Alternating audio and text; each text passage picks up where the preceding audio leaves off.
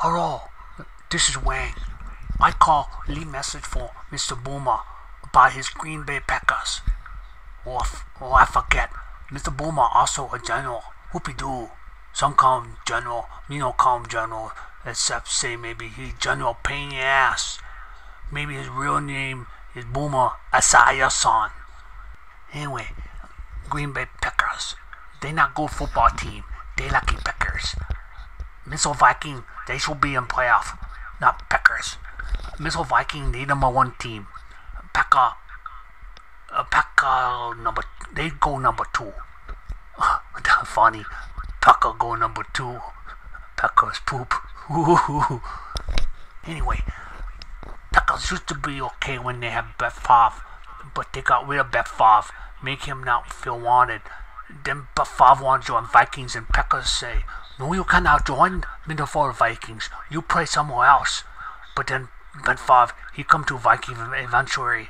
Then send this Gene, Gene Sterger and massage girls to help trap Brett Favre to be bad.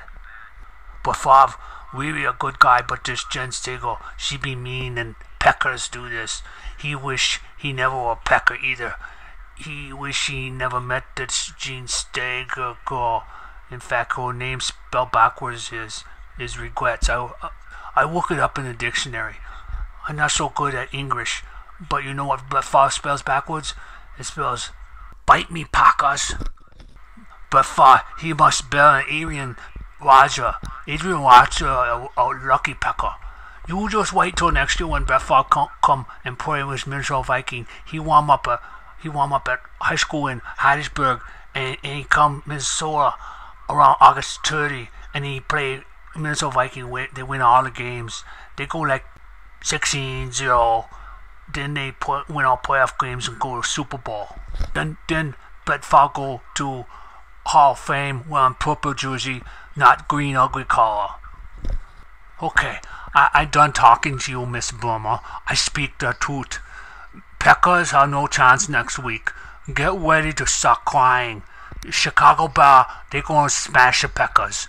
You think Mr. Rogers is out of his neighborhood when he go to Soldier Field. You better believe it. You crazy you think Packer ever going to win. Lots of luck with that. Sayonara.